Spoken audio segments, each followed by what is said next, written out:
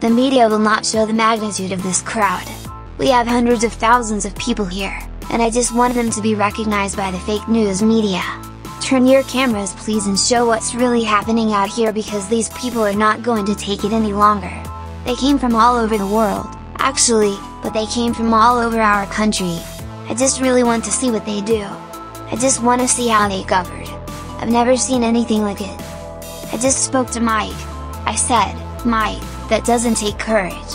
What takes courage is to do nothing. That takes courage, and then we're stuck with a president who lost the election by a lot, and we have to live with that for four more years. We're just not going to let that happen. There's never been a movement like this ever, ever for the extraordinary love for this amazing country and this amazing movement. Thank you! After this, we're going to walk down and I'll be there with you.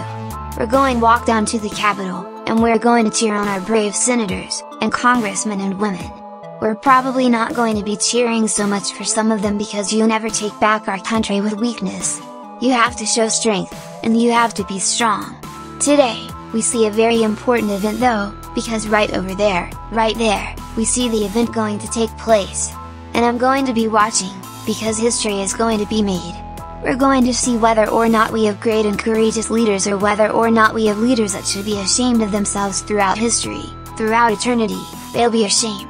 But we're going to try and give our Republicans, the weak ones, because the strong ones don't need any of our help, we're going to try and give them the kind of pride and boldness that they need to take back our country. So let's walk down Pennsylvania Avenue. I want to thank you all. God bless you and God bless America.